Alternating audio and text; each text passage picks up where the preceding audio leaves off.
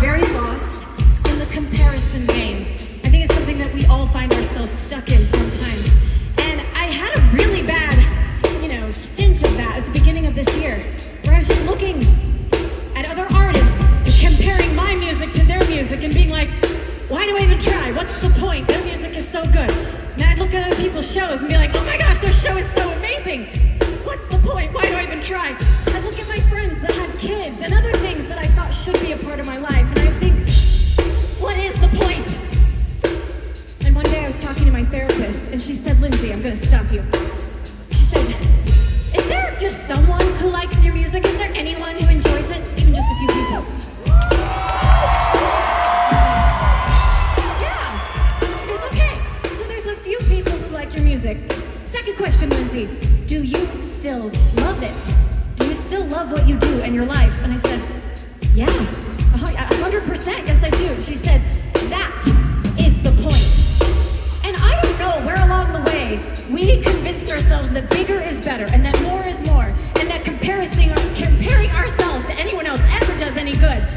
Because comparison is a lose lose situation. Even if you lose the comparison you're currently doing, you are feeding system that says that in order to feel good about yourself, you have to be better than someone else. And that is not a reality that I want to live in. So I just want to remind you guys that you have worked really hard to be where you're at in your life. I have worked really hard to be where I'm at in my life. We all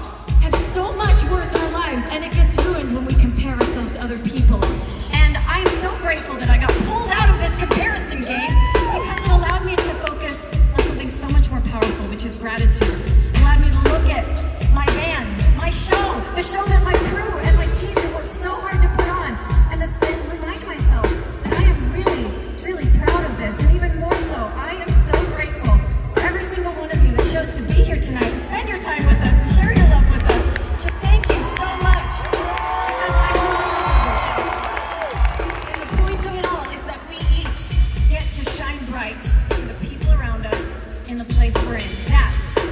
is the point.